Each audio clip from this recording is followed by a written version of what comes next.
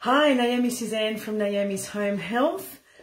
It's Tuesday and time to do another live on a topic. Um, if you have any questions, please put it in the comments. Say hi, let me know where you're coming from. If you're getting this on replay, put hashtag replay.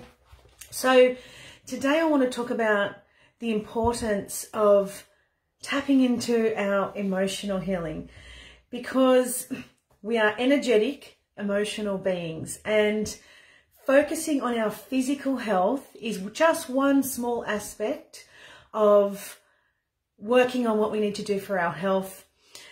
Physical aspect as in terms of nutrition, our body, what we put into our body, whether it be supplements, medication, when we're just focusing on that, which, you know, the modern medicine really just focuses on the physical, whether we, you know, our blood tests, how they look, um, how our body is developing physically, how it responds to medication, how we take medication. That's sort of the only focus that we have with modern medicine.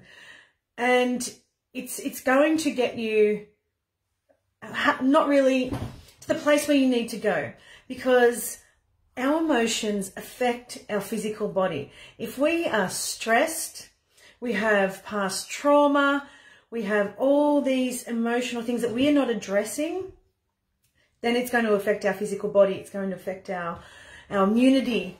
So at the moment, one of the biggest emotions that is coming up for people is fear and living in fear and stress and worrying about what's going to happen to us and worrying about, you know, what we're doing with our immune system and how we can protect ourselves and, you know, what's going to be is going to be. What's going to happen to us is going to happen.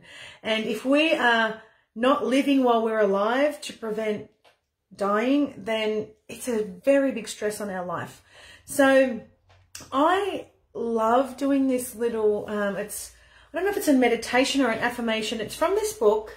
Um, can you see it? A lot of you probably have read it. It's from Louise Hay. You can heal your life. And when I first read this book, it resonated with me, but I, I sort of put it down and I put it away and that was kind of it. Um, because I wasn't ready to deal with the emotional healing side because I was one of those people who just focused on the physical. So the emotional was sort of put always put on the back burner. I didn't want to tap into it because it can be painful to work on your emotions and it's harder and it takes time and energy and all those things. But it didn't, I, I didn't progress to where I wanted to go until I started tapping into the emotions. So I picked up the book again and started reading it. And now I, I use it as like a, a dictionary or like a little Bible kind of thing. And I refer to it quite often. but one of the things I, I, I, knew I needed to do was release a lot of things and let go of a lot of things. And there is a great little exercise in this book called letting go. And it's like a, a little affirmation. And what I do is I record myself saying it on my phone. And I get to a sentence and I leave a little gap so I can repeat that out loud. So I'll sit with a with a cup of cacao with my honey and peppermint and frankincense in it and I sit with my hand on my heart for our heart space, our energy, our, our heart chakra to connect with my heart and I repeat this affirmation over and over. I put the um, recording on repeat and I might repeat it for, you know, five to 10 minutes. And I take, I, I start off and I'll, I'll show you, I'll give you the actual words and I'll show you what I do. And you can then either write it down and record yourself or you can use this recording, feel free. So I, I put my hand on my heart and I take some really deep breaths. Now, when you take deep breaths, you inhale into your stomach. So relax your shoulders, relax your body and take a deep breath. You shouldn't see your shoulders move too much, but you should see your belly. You need to relax your stomach muscles because, you know, we're all told to hold our stomach muscles in all the time for our physical appearance. But you need to sit and relax. You can lay down if you want, whatever's comfortable for you. And take in some deep breaths down into your stomach and, and make sure you release it. Sorry, I'm not relaxed. I've got the book between my legs. you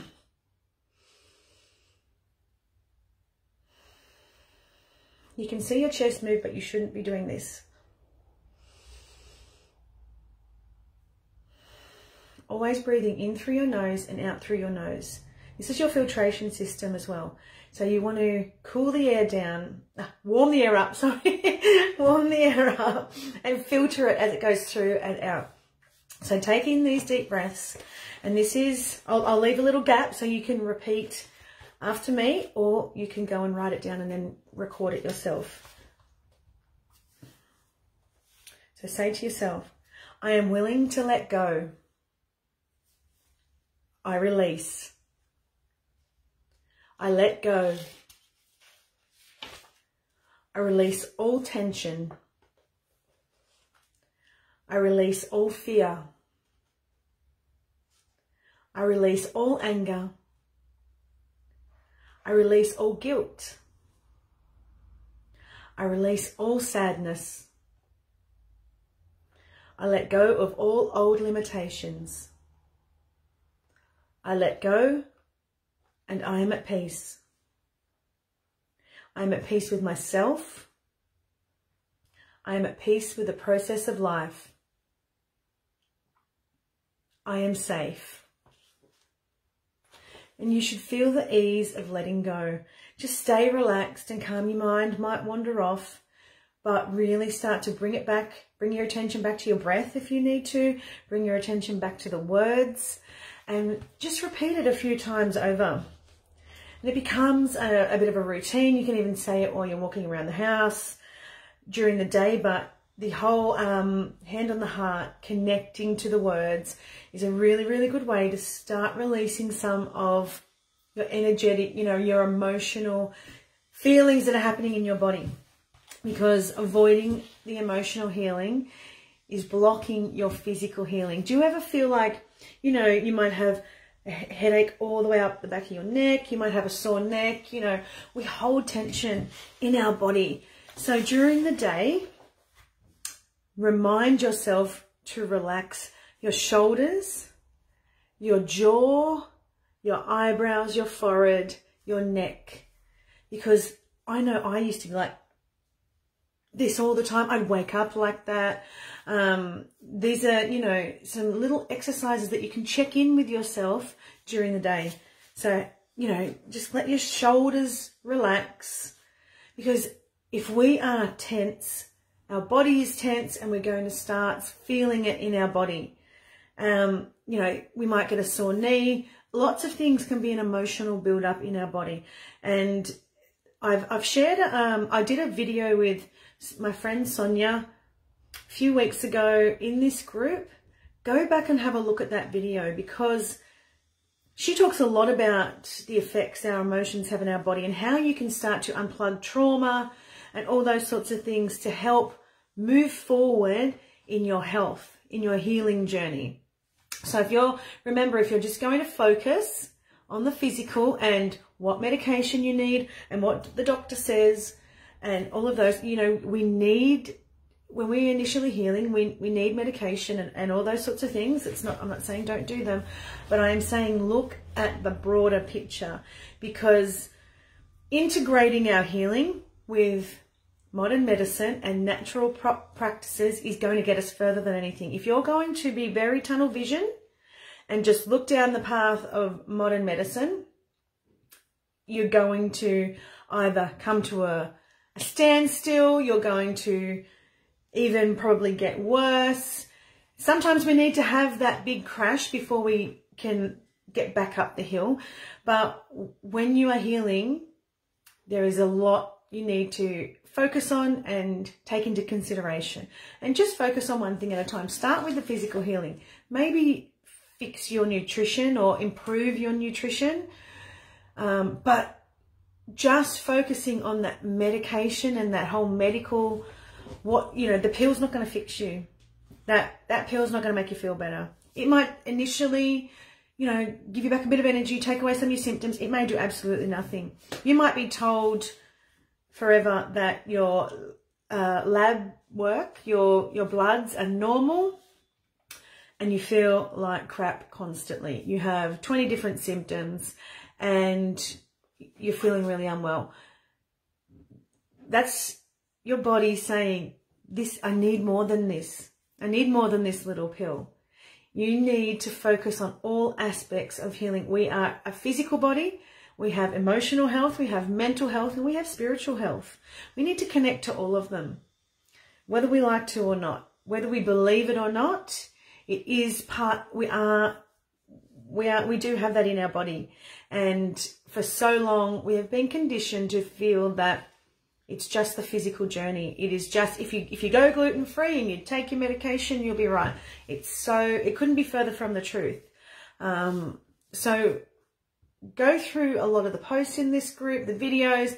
There's a lot of things on emotional he uh, emotional healing. If you need support with your emotional health, use some essential oils, crystals, whatever it is that you're into, uh, meditation, breathing connecting with the breath, connecting with your body. If you are just focusing on, on the physical body and how you can externally fix it, but you're not connected in here, you, you, again, you're not really going to get anywhere.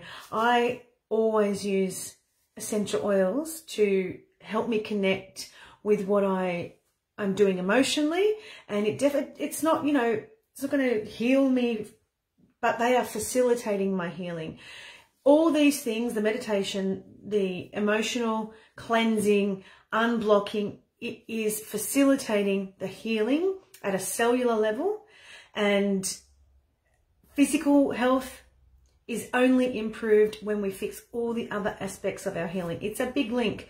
If you're just going to have this little link, it, this little part of the link, you're not going to get anywhere. You need to get right around the circle and you know, work on each part. So do one at a time. Don't rush into it go, I've got to fix everything. I need to, you know, physical, emotional, all of that. Start with the physical if that's where you're comfortable and start working on the nutrition, reducing toxicity, and then, you know, move to the mental health, move to the emotional, whatever you are comfortable with, move on to next. Does that resonate with any of you? If it does, like this post, you know, give me a little yes. Tell me what does and doesn't resonate with you.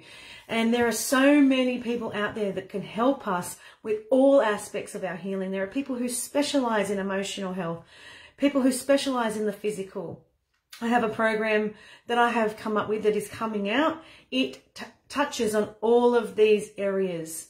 I'm going to be, you know, you're going to be working on, if you do my program, you'll be working on all of it, but very gently and one at a time. It is something that you need to learn um, in your own time, but just focusing on the food and the medication is just one little small aspect. So if this resonates with you, please, you know, tell me below. Tell me what you're thinking because um, I know it, on my own journey, it was all about the physical. And it took me a couple of years I was just focusing, I was going to doctors, doctors, doctors, doctors, and banging my head against the wall. And they just kept telling me I was, it was just depression and anxiety. And that's when I started working on the physical externally from modern medicine, where, the, where, where it was nutrition and reducing toxicity. They were the things that I started with. And they did help. But it was like, I still need more. I'm still not well. I want to be normal again and feel like everyone else is feeling and or how I thought everyone else was feeling. A lot of people are unwell as, as well, but we don't we don't know that. So um, one of my mentors, Penny, focused a lot on the emotional health, and she kept on shoving it in my face. Thank gosh, and um, I finally, you know, connected with that and really started to work on myself, loving the self, um, you know, do, doing all those sorts of things, it all comes back to you, all comes back to yourself because external influences are facilitating, but you are healing yourself. So if that resonates with you, let me know. Please go through the other posts and videos in this group because they all connect, they all help you in some way and just focus on one thing at a time. Make one change at a time.